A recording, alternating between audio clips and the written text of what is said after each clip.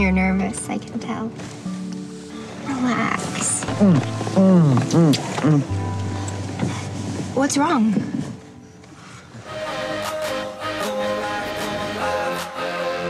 Trisha's so hot and she's into you. Yeah, I know, but she, she's too clingy. And everyone at school thinks that we had sex. Yeah, I don't see what's wrong with that. We got a nickname for you, son. Flash.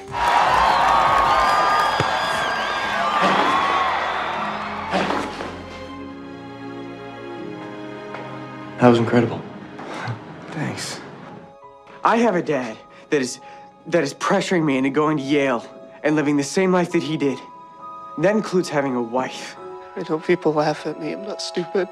I don't want the whole school knowing about me. For real. I don't want to be gay. I just want to be normal. We get to be ourselves here. Shouldn't we let other kids have that same thing? This isn't a geography club. Uh, we're like a secret support group For what? for gay teens. I mean, I did tell her that I was 80 20, but she didn't mind. 80 20? 80% straight, 20% gay.